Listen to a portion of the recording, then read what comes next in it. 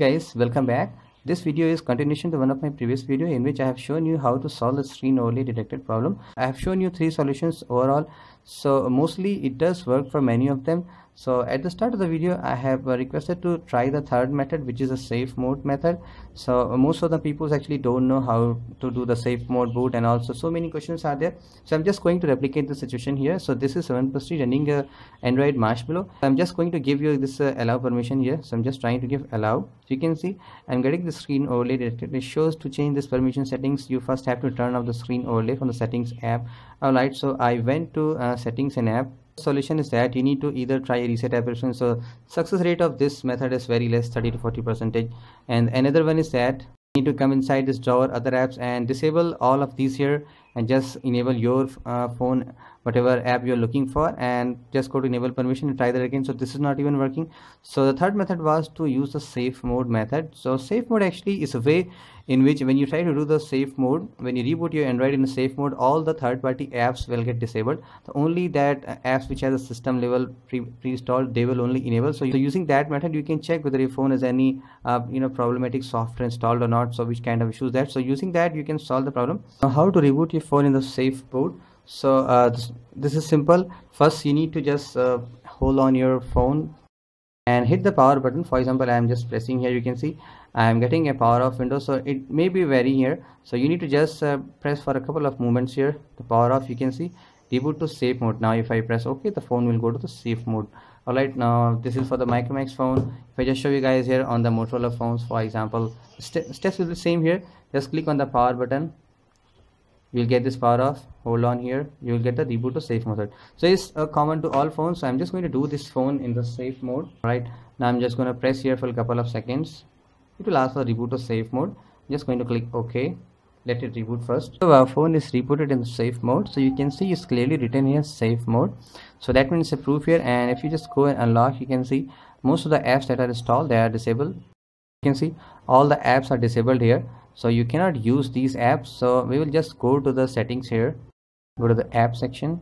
Uh, there are two ways you can do that. Either you can click on the individual app. For example our app olx was giving the problem. So i can easily go to the olx and click on the permissions. I can uh, give permissions to in one shot. So if you have more than one app which is causing the problem so you can simply go to the this gear icon and click on the access permission. And you can carefully check for example each one of them say location which of the app you want to give the location access you can do in one shot for many of the apps here. If you are very safe here you don't have installed much app here so you should enable all of them. There's no problem at all. You can easily disable them. So as the app so you can see i'm easily able to give location permission here. Microphone you can see. Here you can individually give or you can give the one shot. Click on permissions and I can give to whatever I wanted here. All right so this is a way you can do that. So you need to do this for all apps which has a problem.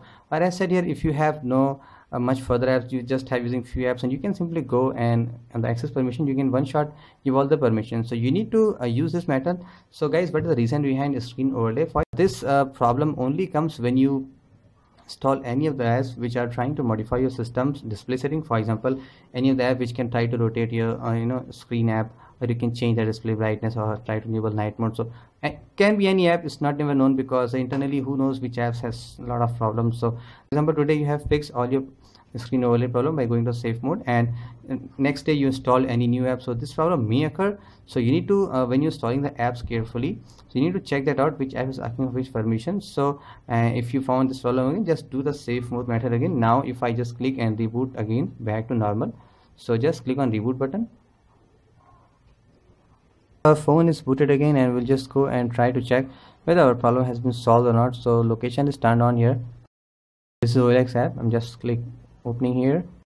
Already set the location you can see. By default since we have already given permission so it has taken and it will retain the permission if I just go to setting and apps.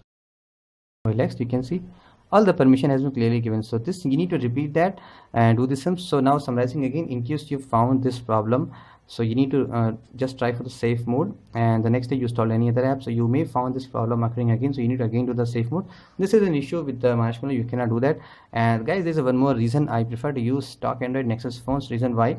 This is my two-year-old device. I never had any uh, overlay detected problem. This is nexus 6p starting from the marshmallow now it is on android and i never had any problem from last eight to nine months. I'm using that one. And apart from that i use many other phones. They does, have all these kinds of problems. So that is one of the reason i prefer to use nexus phones because they solve a lot of pains even though they're very less customizable but they give many many flexibility in using the phone without any problem. So hope you guys found this video helpful. In case you have still concerns queries let me know on my twitter at the support and this is Saurabh. Thanks for watching. I'll talk to you in the next one.